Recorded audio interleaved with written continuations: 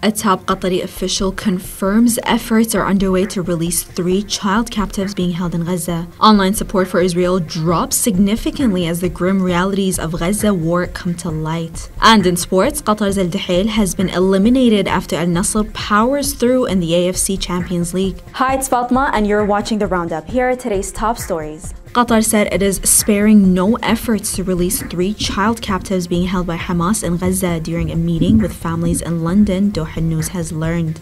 The families met with Doha's ambassador to London, Fahad bin Mohammed Al Atiyah, to appeal for assistance to return the children. In a statement to Doha News, Al Atiyah said, quote, We assured them that no effort is spared to resolve the situation and that we are working to end hostilities and unite people with their loved ones. And now online support for Israel has drastically dropped one month into the brutal war on Gaza. That's according to The Economist, which found a sharp decline in pro Israel content on platforms like Instagram, X, and YouTube YouTube between the 7th of October to the 23rd of the same month. On the other hand, there has been a spike in pro Palestine content, reflecting a major shift in global opinion.